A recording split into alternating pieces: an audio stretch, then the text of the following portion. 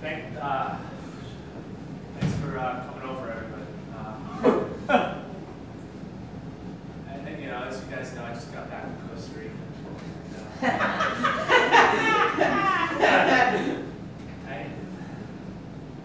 I, had a life changing, well, I had a life changing experience while I was there. Uh, you know, I, I, you know, I was joking around. I said like I might, Try some ayahuasca while I'm there. You know, super powerful hallucinogen. I ran into a shaman while I was there, and I did some ayahuasca on the last day of the trip in a small village near Tarmac. And I learned so much in those 24 hours. I just haven't been able to sleep since I got back, and I, I need to talk to you guys about it. Is that okay? Yeah! My heart is racing right now. I just, I'm still processing all the thoughts, everything that came to me on the trip. I'm just going to go through the trick with you guys. Is that okay? Yeah, it's, cool. it's okay.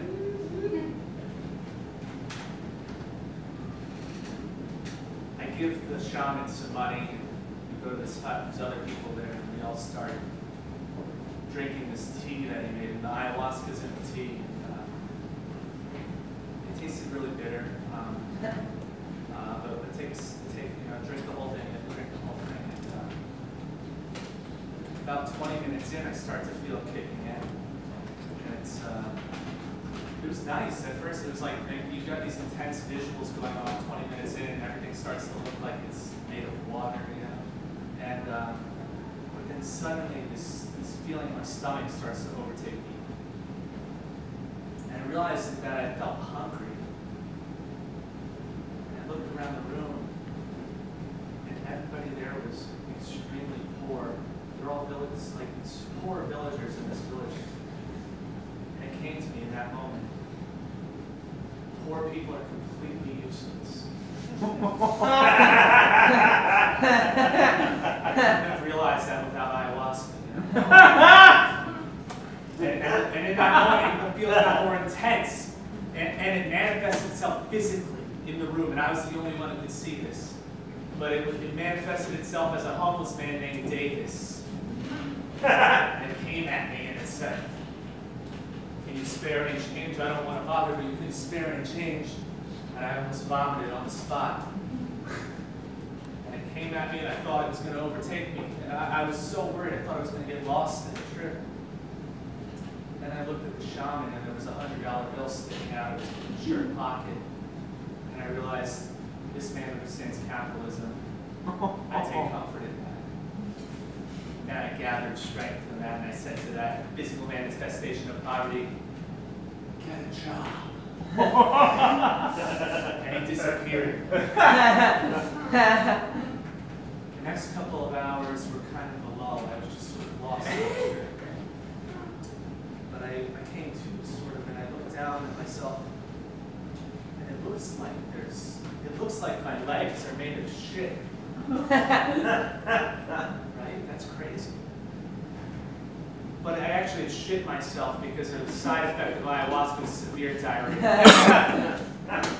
so I go out to the river and I start washing my legs. and bam, I'm on another plane of reality. there I am. I no longer feel my physical form. Suddenly, next thing I know, I'm looking at the fall 2011 collection of the Brooks Brothers catalog. and then I'm in the catalog. Next thing I know, I'm wearing every article of clothing at the same time from the fall 2011 collection. Seersucker bow ties. Clark Fit chinos in every color. Everything was Argyle and nothing was Argyle.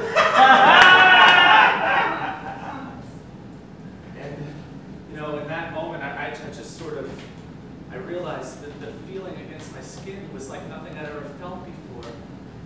Because at Brooks Brothers, they tend to use a higher thread count than most other retail chains. All my life, I've been going to Old Navy and American Eagle and what have you.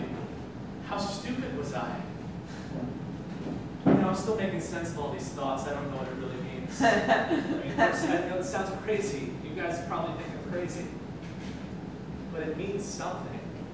I don't know yet what. After I, I felt the feeling of all those clothes on my body, I suddenly experienced pure white light. I couldn't, I didn't feel my physical form anymore, but I could see, I could sense things. I was on another plane of reality entirely. And then I, I could start, I could see this form in front of me. And it starts speaking to me, and I wrote this down because it was really important. I can barely even make this out. Like, I'm surprised I was able this down. To say I love you, you must first be able to say I. The question isn't who is going to let me, it is who is going to stop me. Run for your life from any man that tells you money is evil. That sentence is the leper's bell of an approaching lunar. And in that moment, I realized it was the author of the Fountainhead and everything made sense now. I, I can't tell you what a weight was lifted off my shoulders in that moment.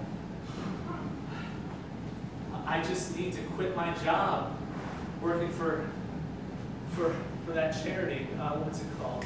The one where they help people who are dying. That's the one. quit my job. I already called and I quit. What sense is there in helping people that are poor and weak when you have power and money? When you can just take that and use the use it to its full extent to better yourself. It feels good to finally know that I don't need to work. I can just live off my trust fund. I had a trust fund.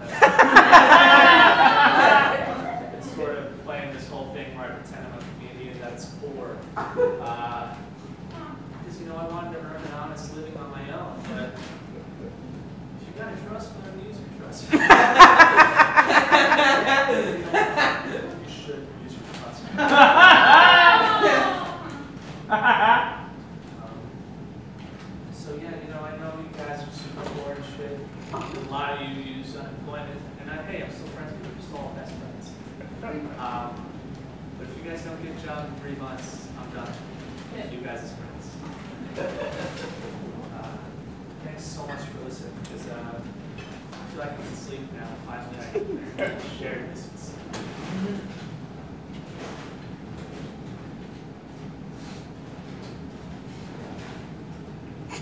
I have ten thousand dollars in my wallet.